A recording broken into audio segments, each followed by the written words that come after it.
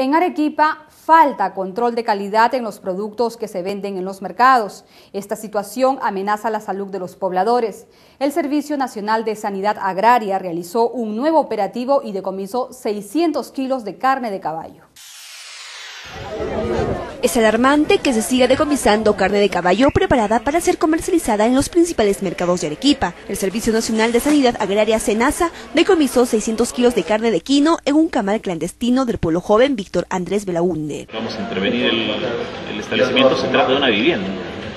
Y esto ha sido en el pueblo joven Víctor Andrés Belaunde, detrás de la cancha de toros de la Sufral. Y el beneficio lo hacía en el patio, en el traspatio en pues en condiciones totalmente inadecuadas.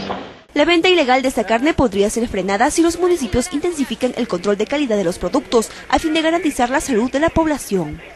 Aunque la carne de quino no es dañina si el animal está sano, lo que puede ocasionar un grave riesgo a la salud es la manera como deshuesan la carne, un proceso que los camales clandestinos llevan a cabo sin las mínimas condiciones de salubridad.